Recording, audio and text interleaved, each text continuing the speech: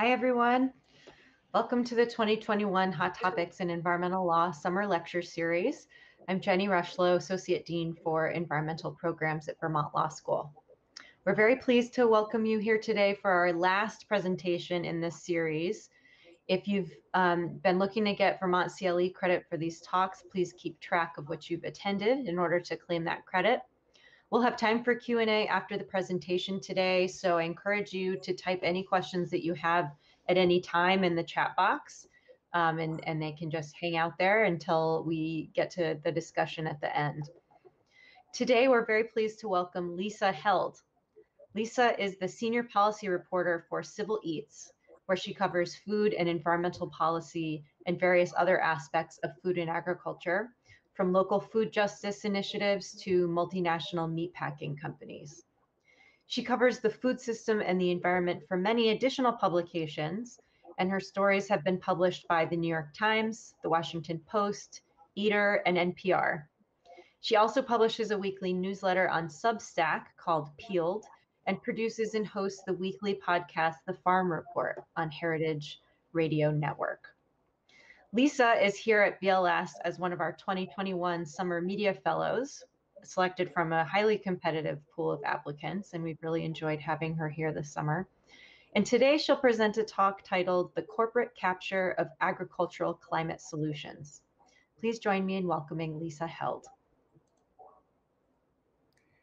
Thank you so much, Jenny. Um, I am so thrilled to be here. I have really um, been grateful for this opportunity to be a media fellow at Vermont Law School over these last two weeks, and am really excited to be here with all of you doing my talk today. Um, as Jenny mentioned, uh, I do a lot of things, but uh, my main gig right now is I am the senior policy reporter at Civil Eats, which is a daily news source for critical thought about the American food system. So we cover the food system across a range of um, issues and areas, including labor, immigration, health and nutrition, and definitely the environment um, is a major focus of our reporting. And yeah, so I am just going to get started by sharing my screen with you, and we will jump right in.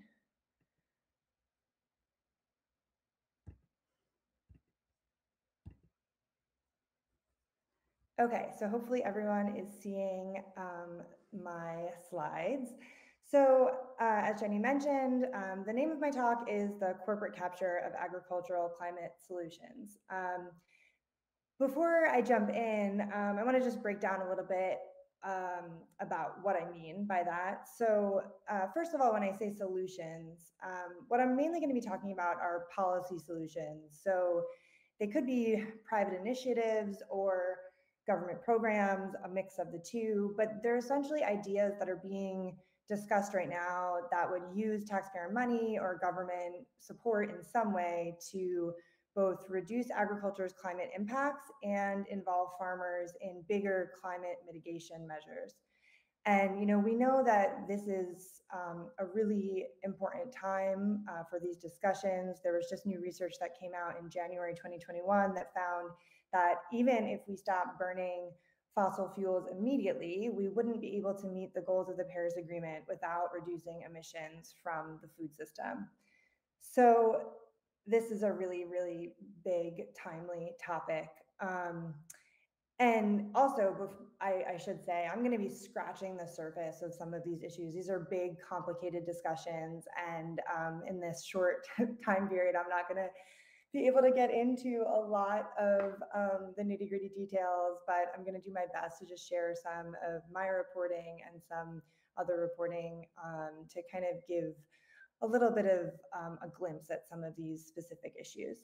So um, before I move on, um, I just want to point out this picture that I put on the first slide is um, a farmer named Keith Ohlinger. He runs a farm in uh, Western Maryland. I went out to visit him, I think last year, maybe the year before, um, to report a story on a system called Silvopasture.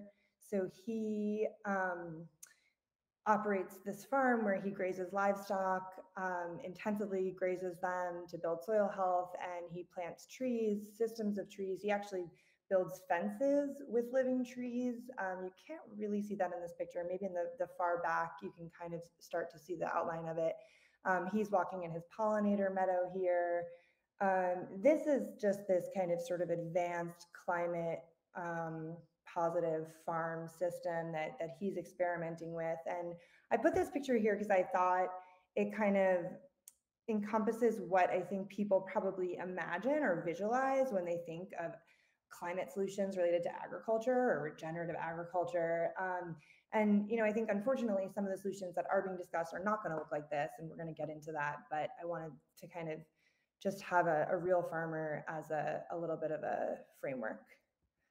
So the other thing I want to talk about, actually, I'm going to go back before I jump into that quote, is just when I say corporate capture. Um, I want to, I actually really don't like that phrase, and I, I'm not sure why I used it. It's a little dramatic, but my intent is not to tell you about how big food and agriculture corporations are bad um, or you know point fingers um, it's just to kind of point to this moment of massive change we're in and explain um, some reporting that can give us an understanding of how these companies um, are going to attempt to potentially steer or benefit from these changes so um, Biden's USDA is already implementing climate programs. Congress is talking about the connection between food and climate in new ways.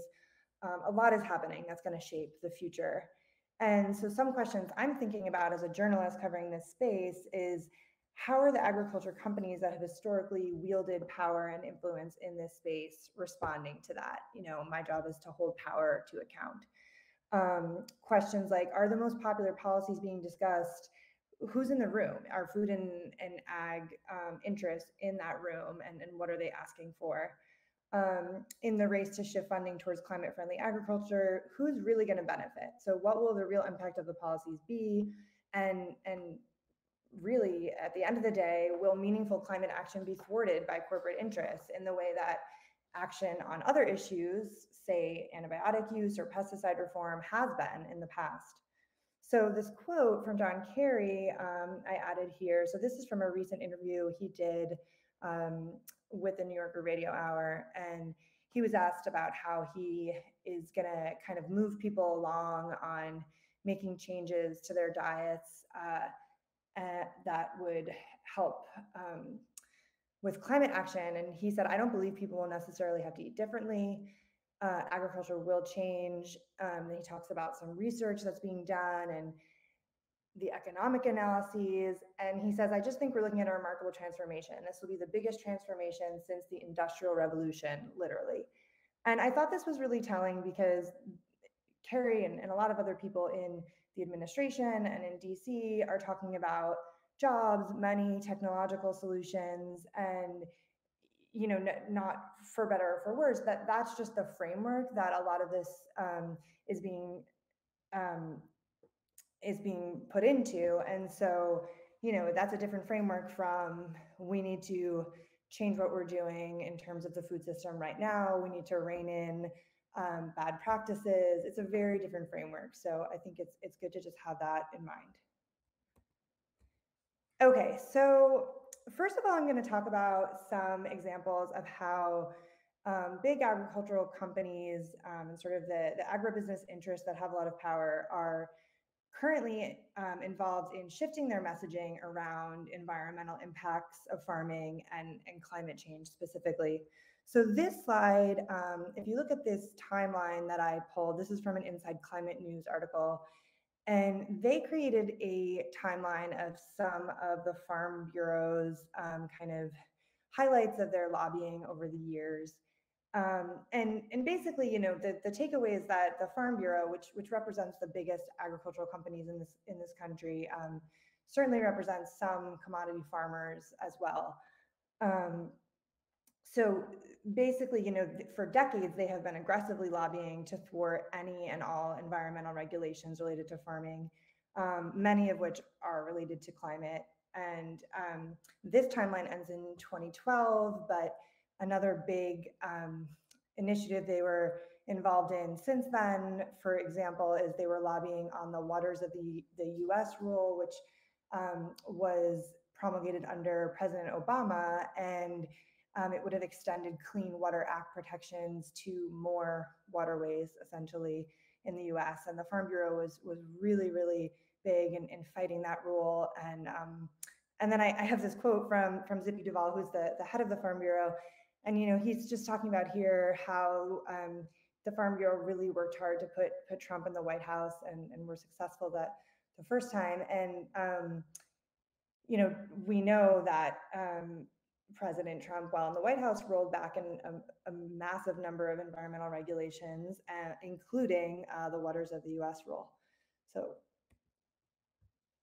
so that was then. Um, this is now. It's all actually kind of happening at the same time. But um, so the Food and Agriculture Climate Alliance is a new um, organization that was formed, and the Farm Bureau is the main uh, organizer behind this alliance.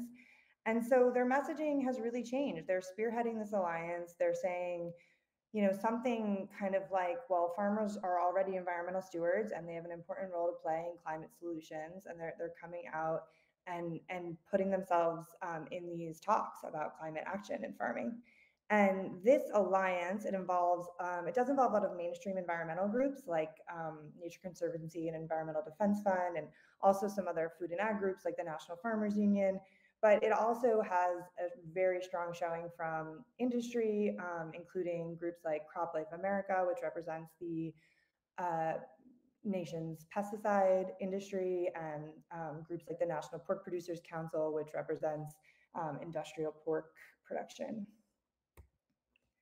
Um, here's another example. This one is actually brand new. This, this was just announced, um, definitely within the past month. Um, this is an alliance called Protein Pact. Um, and this alliance um, says that its its uh, mission is to strengthen animal proteins contributions to healthy people, healthy animals, healthy communities, and a healthy environment. Um, and so this was created primarily by the North American Meat Institute, um, also known as NAMI. So they are a extremely powerful lobbying group for the biggest meatpacking companies like JBS, Smithfield, Tyson, um, and so, you know, we're talking about meat companies that primarily are in the business of um, selling meat from concentrated animal feeding operations or CAFOs. Um, and this is an alliance that is also going to be um, kind of pulling in lots of industry par partners like the United Soybean Board, also the National Pork Producers Council. Um, oh, there's a lot of overlap between these different groups. Um, and it and it pulls in other alliances. So it, it, it involves this something called the U.S. Roundtable for Sustainable Beef, which its members are like Cargill and Tyson, Burger King, Walmart. So this is kind of another example of just industry coming together and saying, hey, we are um, we're involved in this conversation about climate and and we want um, a seat at the table.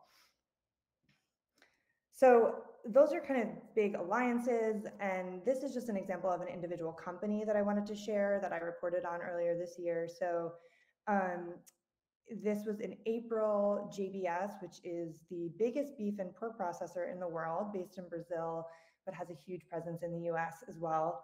Um, they ran a full page ad in the New York Times in April that said, as you can see, agriculture can be part of the climate solution bacon, chicken wings, and steak with net zero emissions. It's possible. There was a lot more to the ad, but um, I couldn't fit it in the picture. so, um, you know, this is really significant because JBS is not a company you think of and you think, oh, they, you know, they're really going for it on climate. Um, they have mainly, um, well, they've been in the news a lot recently for the bribes that they were um, busted for paying um, to help their acquisition of Pilgrim's Pride, which is another big chicken company in the US. Um, but you know, I did some reporting on um, in this in this story on my my Substack newsletter Peeled about the kind of picking apart the actual commitments that they made that they were advertising here. Um, they were kind of committing to reducing emissions from some parts of their supply chain, but not all reducing emissions intensity, not absolute emissions, which is a whole other topic. Um, and then the net zero, of course, would be coming from offsets, which um, there are a lot of issues with them that I'll talk more about later.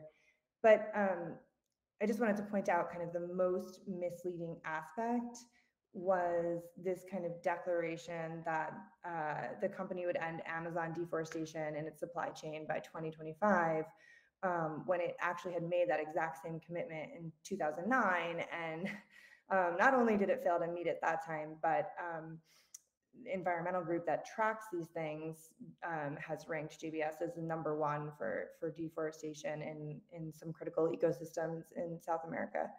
So, I mean, the the big takeaway here is just that you know these companies like JBS, they're declaring like we care about climate change, we're part of the solution, um, and we need to be paying attention to that messaging. So, so why? Why are they? Why are they doing this? Um, so I think, I mean, these are just some headlines I included. One is a story I did um, with the new House Ag uh, chairman, where he said climate change is one of his priorities. There's an article from Modern Farmer saying, you know, Biden is betting the farm on climate. So there's, as I mentioned before, this, there's a lot of talk about this. Um, but I mean, I, I want to give them um, the benefit. Of, I don't know if this is them the of the doubt, but really, um, there is an aspect where I'm sure you know these companies are thinking about preventing disaster. That if you know anyone looks at the science, they need to be thinking about how to secure their supply chains as the climate changes. So I'm sure that's part of it. Um, but consumer demand and public image um, are obviously huge right now as um, consumers are thinking more about making choices related to climate impact. Preventing regulation. So this is big. They you know food and agriculture companies historically want to be in the room saying we'll do this. We were absolutely on board. It has to be voluntary. So this is um, I, I heard zippy duvall in multiple hearings this year say that word over and over voluntary voluntary voluntary and a lot of senators will kind of parrot it back in hearings. Um, to just like give them to say, yep, we get it. And so it's it's kind of just a we show up to make sure that you're that there aren't harsher regulations that are going to be put on um, the agriculture sector when it comes to climate. Um, and then of course profit. So um, there's a lot of money. There's there's government funding flowing this way. There's private funding flowing this way, and um, that's you know they they want to be in line to to benefit. Okay, so I'm going to talk about two of these kind of agricultural climate solutions. Um, they're very specific and they both they kind of overlap a little bit. So I decided to focus on these two. Um, but just before I do that, I just wanted to note that um, there are many more um, that could fit into this category of agricultural climate solutions. This is in no way comprehensive. So, for instance, fake meat, um, both plant and cell based, is really big right now. Um, it's mostly getting venture capital funding, but adv- advocacy groups are definitely working to push it into the policy arena. Um, there's seaweed. I just did some reporting on um, big companies getting into seaweed production for civil eats. Um, so there, there's a lot of other things, but I'm just going to focus on these two. So starting with methane capture or biogas. Um, this is also referred to as uh, factory farm biogas or renewable natural gas. So you can see, um, depending with what you think of this idea, um, you might call it something very different. Um, so you know, the the this is sort of just the basic idea. You know, industrial scale dairies and hog farms. That's mostly what we're talking about when we talk about uh, methane capture and biogas. They hold waste from their animals in lagoons. And as that waste break down, breaks down, it releases methane. And we know that methane is 25 times more potent than CO2 as a greenhouse gas. So reducing methane is really important right now. And so the, the basic solution is well, we can capture that methane, convert it to biogas, biomethane, and then distribute it via natural gas pipelines as a renewable fuel source. So um, the way this works right now, um, there there are many dairies in California that are already operating these, um, and there are some examples on the East Coast. There's actually a Vermont example that I found um, that is in Salisbury that uh, was built with Vanguard Renewables, and it it's a it's a smaller dairy operation as far as these um, projects usually go, and they're also putting food scraps into the digester um, in order to get enough waste to, to run it um, efficiently. And the energy is being purchased by Middlebury. And so this, that's kind of an example of what I think people think of when you think of digesters and, and these capturing methane and, and sort of creating this small closed loop system that you're immediately getting the energy back. Um, but that's not what most of this is going to look like in the future. So we're going to get into that. So these are the big issues that experts and advocates are talking about right now around this idea of methane capture.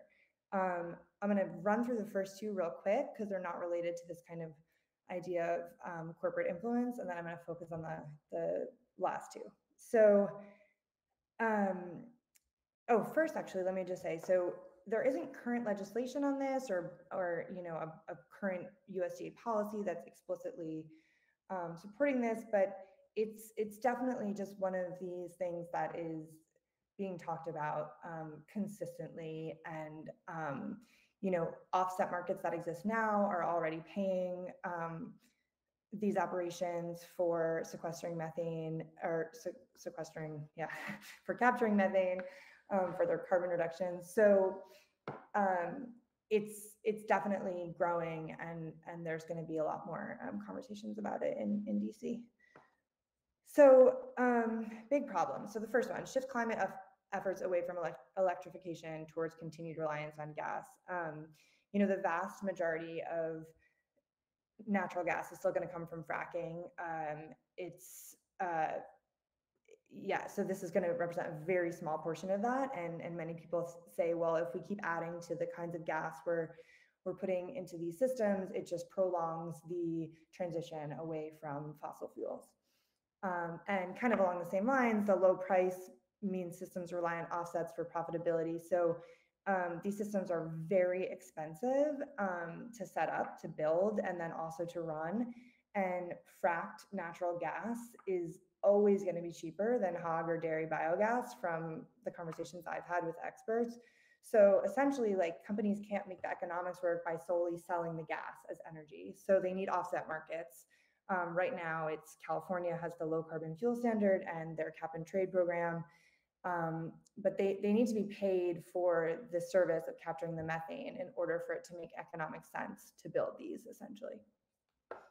So these are the big kind of takeaways in terms of how this might lead to kind of um, bigger uh, agribusiness companies benefiting and, and more consolidation. So in order to power digesters, you need a lot of manure. And for it to be economically feasible, you need even more. So, you know, there's some research that puts the capital costs at building these, it's definitely millions of dollars. Um, and it's expensive to run annually, as I mentioned. So some estimates put the feasibility, for instance, on a dairy at around 3,000 to 3,500 cows. So um, these are large operations that are able to make this work.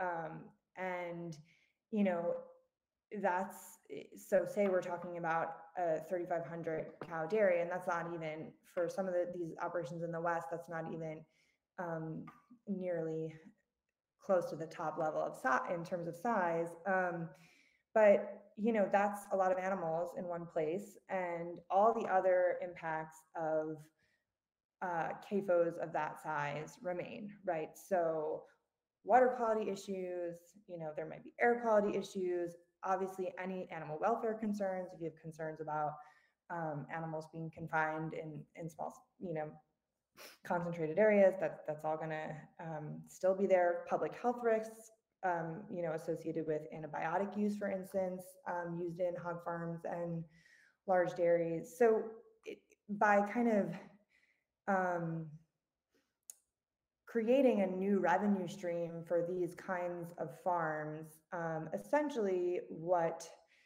um, a lot of people are, are pointing out is that we're creating new revenue streams for them and all these other issues still remain and are probably not good for the environment or um, people living in these areas. Um, and of course, also, so on the in terms of tipping the scales further, uh, small dairies who are doing grass fed or regenerative grazing, hog farms raising pigs on pasture and woodlands in diversified systems, they're certainly not going to benefit from these. They're, they can't, they don't even have lagoons to, because they're not creating those emissions, so they don't have methane to capture. And so it's essentially creating a new um, income stream for these large operations where these smaller, maybe diversified operations that are trying to do things differently are not going to benefit.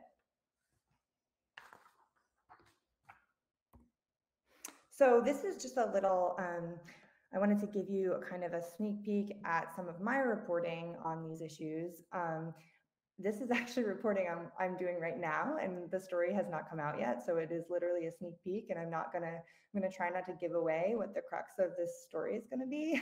um, hopefully you'll read it when it comes out on Civil Eats uh, very soon. But I have been looking into um, this project that uh, Smithfield and Dominion Energy are building in Utah. Well, built, it's, this project is uh, actually already up and running. As you can see the headline, um, they're calling it the first of its kind renewable natural gas project in Utah. Um, they, it, you can see in the, I don't know if you can read this on the slide, but it, it basically they, they're saying the project is now producing renewable natural gas from a network of 26 family farms that raise hogs under contract with Smithfield. So I'm going, oh, and this is the first, so they're doing this in Utah now, and then they're also working on systems in North Carolina, Virginia, and a couple other states. So this is a huge push, and um, it's just they're just going to keep expanding it and, and building um, more of these um, natural gas uh, pipelines. Specifically, all th these projects are all hog farms. So this is a Google Maps screenshot, something I use a lot when I'm trying to understand what um, landscapes look like. Um, these buildings that are used um, for um, CAFO production are big enough that you can see them on the satellite. So this is the county that the project I was just talking about, this um, Smithfield um, methane capture project is, is located in the the project that they are building includes 26 farm sites. Permits that they filed um, that I've reviewed uh, say that they had planned for each site to have four hog finisher barns with 4,800 hogs per barn, which means that the complex that is providing this um, natural gas, it would the, the actual complex of 26 farm sites would have just under about 500,000, close to half a million hogs at a time in this one farm complex. And one thing to point out is so this picture is this is not actually let me see how to explain this. There, there, I think there are at least two other farm hog farm complexes in the same um, two counties in Utah so it's hard to parse out by looking at the maps which are which. So this might not be the exact complex, but that's it actually speaks to um, kind of what we're talking about is not only are there these, you know, we know that there are half a million hogs in this one complex, but there are actually many, many more that are already there. Um, so it's just a really, really high level of concentration and consolidation. Um, and you can you can take this map and um, compare it to the natural gas pipeline maps um, that the federal government provides and see how the pipeline kind of runs through this area. Um, so it gives them access to tapping into that. Um, so, so my story is going to look into some bigger questions about actual emissions reduction value of, of projects like these. But, you know, we can just think about like, well, what other impacts might these farms have? I mean, the numbers here, um, again, in terms of animal welfare, the impacts would be pretty obvious. And then um, a big one here, I think, would be water use. So there's persistent drought in this um, already normally very dry region right now. Utah is actually fighting with um, surrounding states in the Colorado River Basin over water access. So um, that could be another impact that we should consider. Okay, so that was methane capture biogas. I'm going to briefly talk about carbon markets. Um, so, and I should say, I'm really talking about agricultural carbon markets. There are different kinds of carbon markets. Um, but essentially, um, the way I've laid it out here, you know, agriculture contributes to climate change via greenhouse gas emissions from land use, input production, nitrous oxide emissions in fields, methane from livestock. But on the flip side, healthy soil, when properly managed, can also capture and hold carbon, um, potentially contributing to climate action uh, by sequestering that carbon. So the idea is that um, in order to incentivize farmers to adopt those practices that sequester carbon, carbon markets sell credits to companies that want to offset their emissions. So in this case, they'd be purchasing those credits and farmers are providing are getting paid for the sequestration. The company gets to say, well, sure, we emitted this this amount of uh, CO2 equivalents in the past year, but then we paid this farm and they sequestered it. And so it evens out essentially. So seems seems pretty straightforward, I guess. Um, oh, and I should also say that carbon markets already exist. I mentioned earlier, I think California's um, cap and trade market, but that one is really different because it has a cap. So um, companies are certain companies in certain industries that are that emit a lot of um, that have high emissions, they're only they're given a certain threshold and then they have to offset what, when they go over. Whereas um, most of the, the, agricultural carbon markets that exist so far don't involve a cap. There's totally voluntary. Um, so you know, companies just that want to offset can, but it, it's not required. Of course, I should also say though that these ideas, there's so many different ideas. Go actually, we'll talk about this on this slide. So there's so many different ideas related to carbon markets um, and in agriculture that are circulating right now. And um, I, I want to talk about the Growing Climate Solutions Act, but first I, I should say, um, so the the Biden administration has has pointed to carbon markets before. Um, he, Biden, uh, the USDA actually appointed Robert Bonnie, who's an advocate for what, what he calls a carbon bank um, to for a climate position within USDA, and, and he hasn't been confirmed yet, but likely will be. And um, so that a carbon bank is a little bit different from private carbon markets. So they're talking more about um, the federal government taking a, a, larger role in potentially paying farmers for, for carbon credits. And in this case, the Growing Climate Solutions Act um, is a bipartisan bill that was introduced by uh, Senators Braun and Stabenow, and it passed the Senate in June, which is pretty amazing right now. Not much is passing the Senate.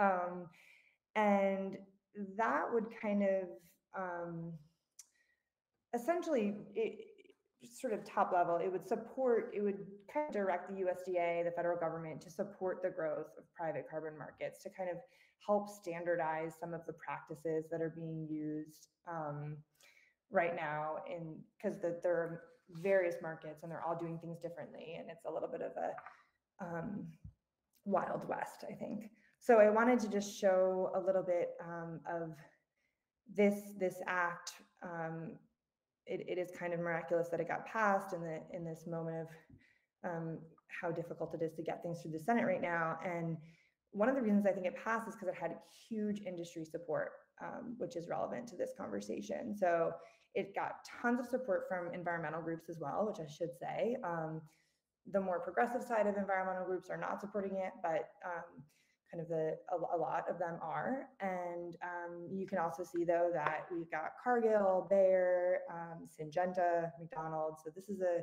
and the Farm Bureau, of course. So industry likes this this um, bill. So here are the issues that um, advocates and experts are, are bringing up when it comes to agricultural carbon markets. First one, um, research. So none of the um, research that we have so far, what we know so far from a scientific perspective on on farm carbon sequestration is kind of at a point where most people think it's just not at a point where we could really say, okay, this this if we do this thing it's going to sequester this much carbon and we can pay for that amount of carbon um, there's a long way to go so we have to answer questions like how much carbon can soils really hold? How long does that carbon stay there? If you till it once is it just gone? Um, how far down is it being sequestered? Um, that's a really important um, aspect that sometimes doesn't even get measured in studies. Um, how to measure if you're going to pay farmers for for sequestration how are we measuring it? There are different tools, or are we doing it paying them by practice instead of by actual carbon? So there's a lot of a lot of um, unanswered questions at this point.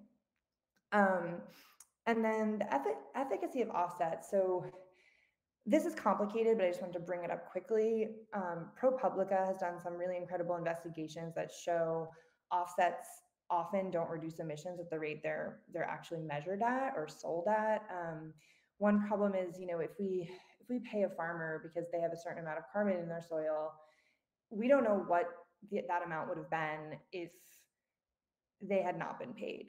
What would they have done? It's hard to say. Well maybe they would have planted a cover crop but they wouldn't have but they would have tilled or maybe they so it, it's hard to say um, th- this is exactly how much carbon um, resulted in a change in what they were doing, and therefore it represents a meaningful reduction in the overall amount of carbon in the atmosphere. Okay, so moving into um, our focus today, sort of the, the corporate side.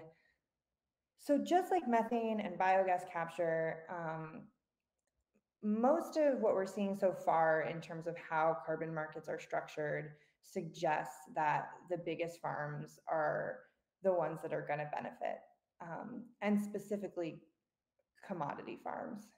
So right now, um, the rates are about 15 to $20 per acre. So if you're a regenerative, diversified 20 acre farm, well, first of all, some of them, some of the markets don't even um, take farms that aren't commodity. Um, but also, like if you're 20 acres and you're getting paid $20 per acre, $400 isn't really going to do much to to help um, improve the economic viability of your farm. But if you're a 3,000 acre commodity farm, you know, 60K is, is pretty significant. So there's a scale um, preference for sure. Change in practices. Um, most of these markets require a farmer to change one or two things they're doing in order to get paid. So maybe it's reducing tillage or fertilizer use, um, planting cover crops, I mentioned. So essentially, the markets do that because they want to be able to say they made this change. It likely led to this much more carbon in the soil. So that means it can represent an offset. But, you know, that obviously then exempts or leaves out the most sort of um, innovative farms that have been doing kind of climate um, leading work for years. So again, like a diversified regenerative organic farm that has been really just doing the work for years um, and prioritizing biodiversity and um, and internalizing those costs along the way they're not there's likely not going to be a, a, little change they can make to say well we made this change and so now we can qualify for a credit um, and it's important for me to point out that's not a flaw that's actually essential to the design because as i mentioned earlier for an offset to truly represent meaningful emissions reductions net reductions, it has to represent new capture, right? So again, just like kind of the, the summary bullet is that like methane and biogas, um, because of these issues, the fear is that if carbon markets work for any farmers, it will be commodity farmers with thousands of acres that can get paid to make a relatively small practice change in the, the grand scheme of things. And you know therefore this will further tip the scales towards the status quo towards the same kind of production that um, dominates our agricultural landscape now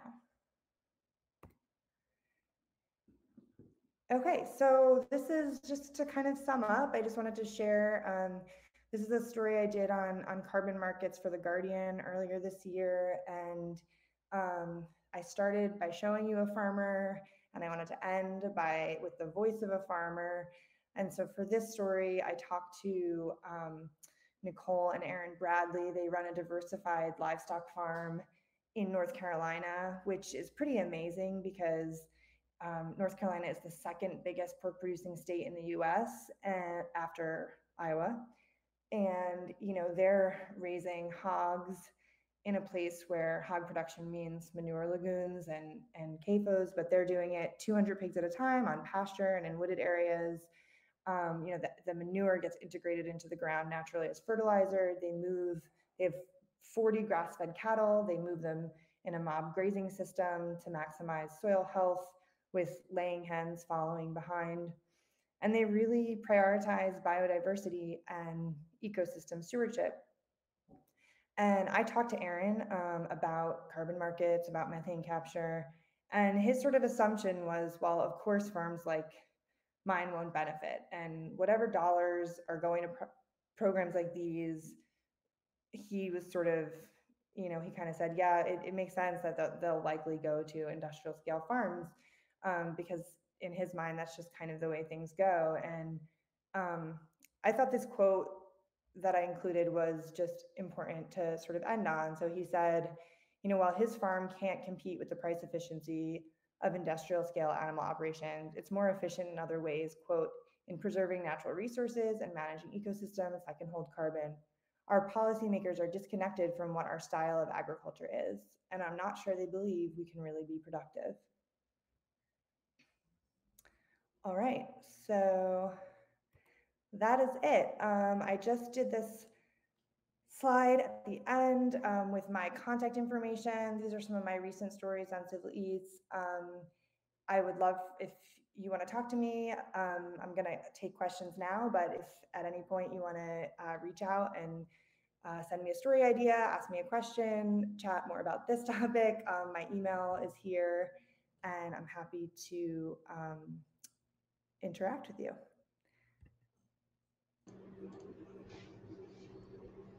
Okay.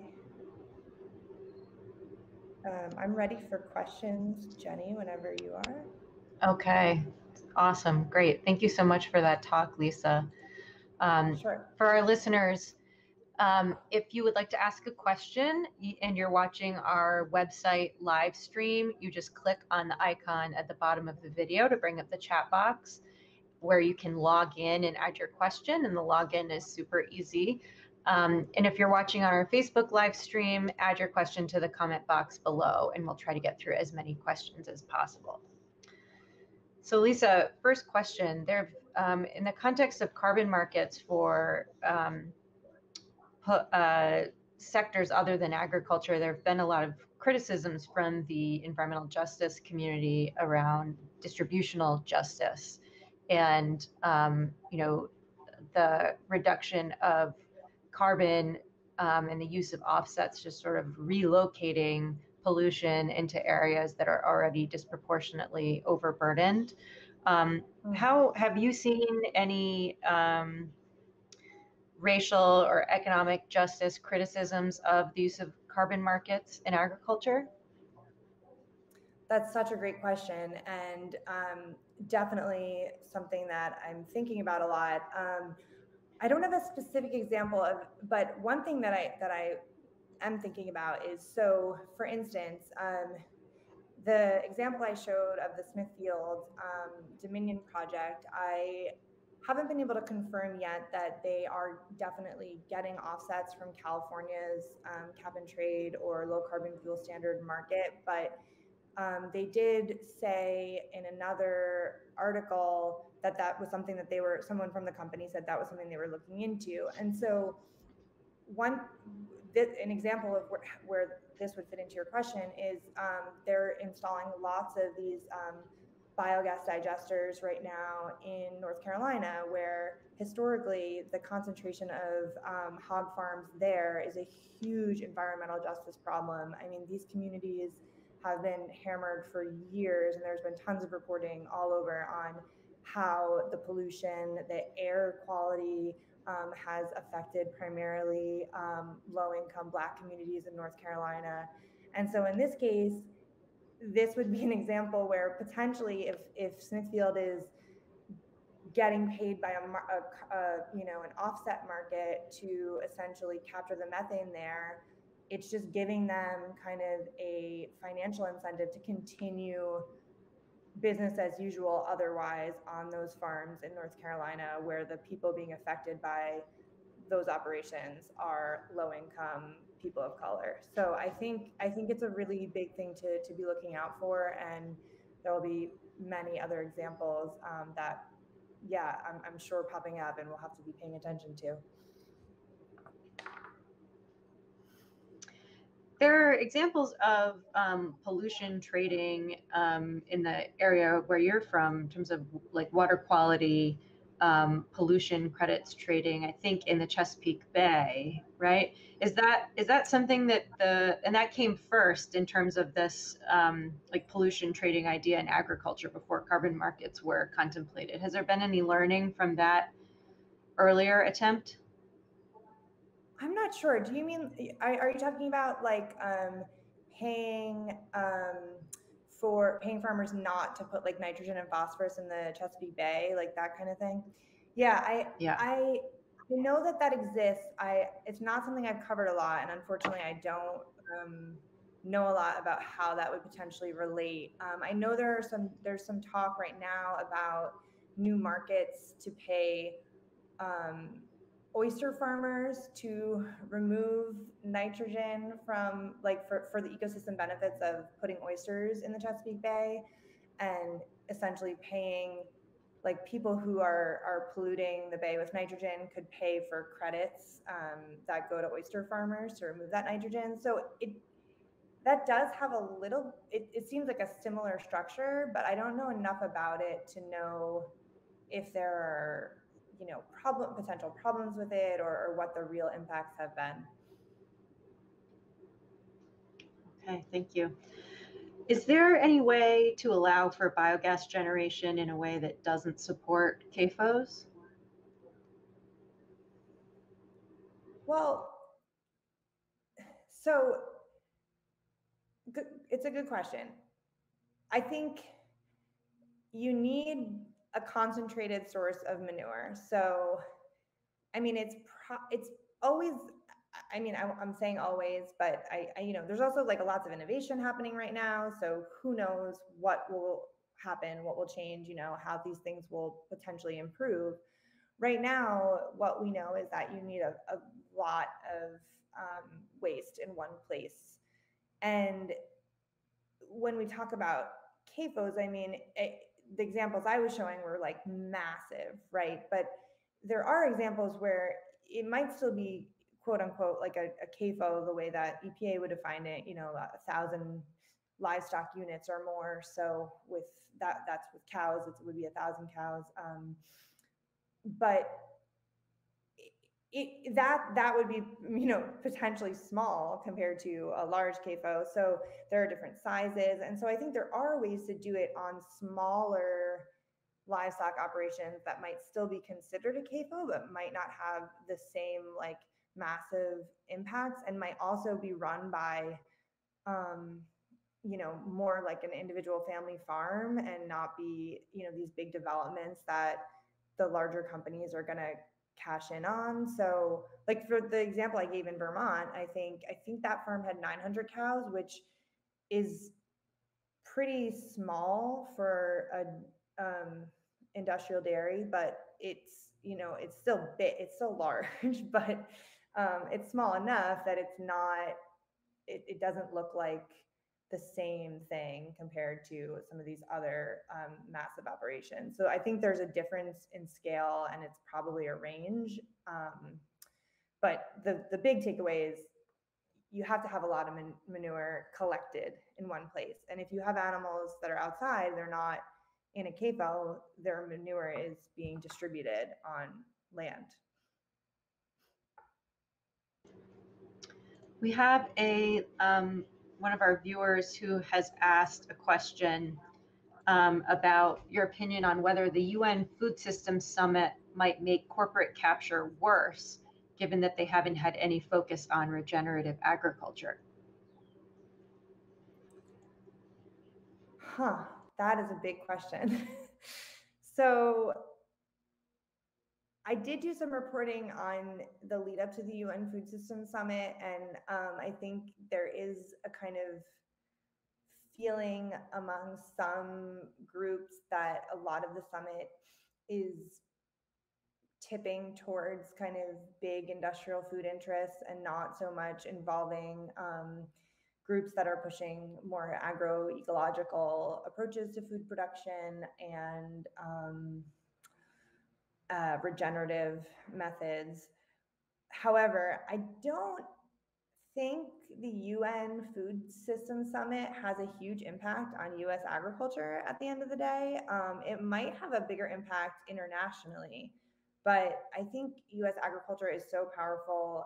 The UN doesn't really um, impact how we do things here to a large extent.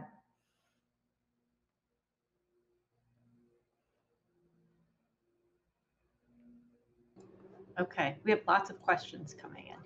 Um, anaerobic All digestion right. and climate solutions have been given lots of attention, presumably because of their benefits. Are there alternate technologies you recommend that could help make meaningful change? And then there's a follow up to this, which is what about co digestion anaerobic digesters that use municipal green bin waste or other organic waste streams beyond just manure only digesters? Uh, yeah, I think that those digesters, I think, could be really cool. Like if you can, if you can, you're putting food waste, you're getting all this different waste, and it, th- there are a million ways to do this. That I think I don't think it's just like this is a bad thing. Um, my intention was to kind of just show that when we start to propose um, these solu- like solutions, then kind of companies come in and, and do what they will with them, but um, that doesn't mean that there aren't situations in which digesters could be amazing and make perfect sense. Um, I, and I think you, it really will have to kind of be um, on a case by case basis um, that we think about like, does it make sense here? And is it really representing a meaningful reduction in emissions? Um, in terms of other technologies, um, I mean, I think one of the big issues is that it's really hard to get um, policymakers to think about agriculture as a more holistic system and kind of invest in um, full system solutions. So, like, we already know that diversified production, um, silvopasture, uh, it, we know that there are these systems that I mean, a lot of people will, will call it, you know, regenerative, and we call it regenerative organic. That that do a better job, but they require and they use a lot of technology. And by the way, like the most scientific technological thing you can do is start talking about soil health. And so I, I like to point that out because I hate when people think like organic is like anti-tech or um, but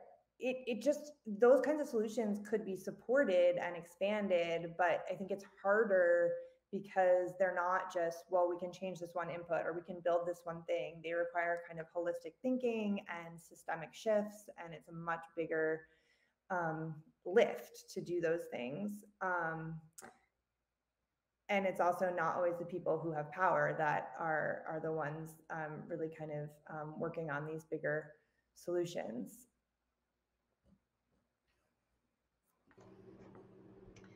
Okay what would regenerative agriculture and smaller scale farmers have liked to see in the Growing Climate Solutions Act to benefit them?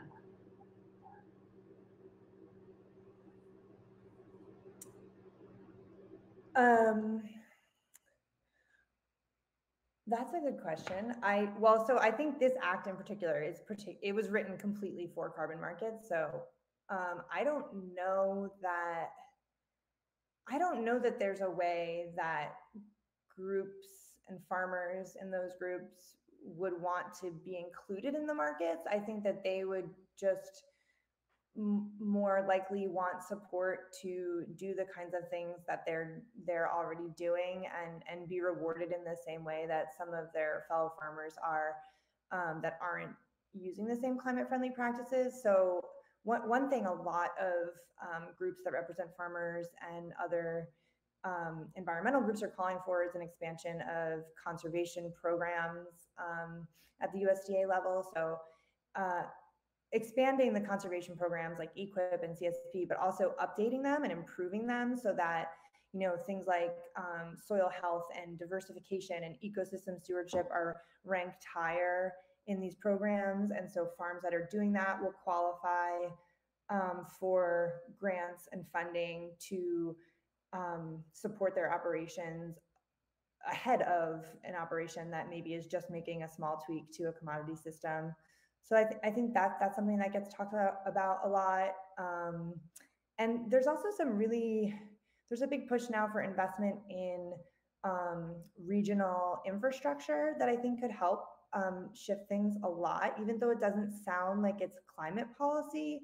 Um, a lot of farms, like the one that I mentioned at the end, um, that if if you're doing if you're doing livestock on pasture and you're trying to compete with um, the giant meat market we have in this country, and then you can't get your animals processed for three years. That's what the wait is right now in a lot of places for small producers. There's just no way at the end of the day you're going to be able to have a viable operation. So, investing more, putting more dollars into small scale processing, um, food hubs that help um, distribute more efficiently distribute uh, food from smaller, more diversified farms, things like that. I think even though they don't aren't climate policy on like you know they don't they might not have climate in in the title they actually might be what those kinds of farms will ask for and i think we just need to kind of think a little more systemically okay we'll do one more question before we wrap up a benefit, if there is one, of scale farms is that if they make real changes, then the impact is large. Are there examples of medium to large operators that are doing good? There definitely are, and and that is um, it's a really good point because, like I said at the beginning, I didn't mean I wasn't in any way saying big is bad, and um, there are two ways of thinking. I think in agriculture and in many other places, which is like if a big operation, a big farm or a big food company makes a tiny change, then a lot of people would say that's better than a lot of small farms making big changes because they have such an outsized impact, right? So those are just two different ways of thinking about things. Um, I don't necessarily, you know, it, it, it's a long conversation about um, which is right or, or, kind of backing either side up, but um, but I do think there's lots of um, examples of bigger operations doing things well. And there's also just, it doesn't have to be one or the other. Like there's mid scale, like there are farms, there's like a farm in Massachusetts called Kitchen Garden Farm that I think is amazing that um, is doing fruits and vegetables. I, I don't know if they have like 100 acres or something, but they have regional production. Their their vegetables are in Whole Foods there, but they're so they're they're not a small farm just selling at a farm stand or at a farmer's market, but they're not you know part of the Central Valley shipping their stuff all over the country either. So there's there's a whole range of farms and production scales, and it doesn't have to be like it has to be tiny or it has to be um, you know the mo- the highest example of, of what we want it to be. Um, I think there'll be a range of scales. Um, and um, sorry, I, now I'm like just I keep talking. I know we're ending, but uh, I think one thing about scale too is that replicability re, is that is that the right word um, is really important so um, if if you create a kind of a mid-scale operation that is is doing really great work i think one question that doesn't get it's always like well can it scale are we going to make be able to make it big enough to feed people but it doesn't necessarily have to scale it could be replicated so there could be a lot of something good rather than one thing doing everything, right? Awesome, thank you. Well, we are out of time. I want to apologize to the folks who we didn't get to their questions, but thank you for such active listening today. Um, thank you, Lisa, for such an interesting presentation. And thank you to everybody who's joined us today. And I know many of you join throughout the summer for each of our talks in the lecture series. So um, thank you so much. If you missed any or want to go back and watch again, they're all available to view online, both on the VLS YouTube channel and at vermontlaw.edu backslash live under past events. Thanks again, everyone. Have a great rest of your summer.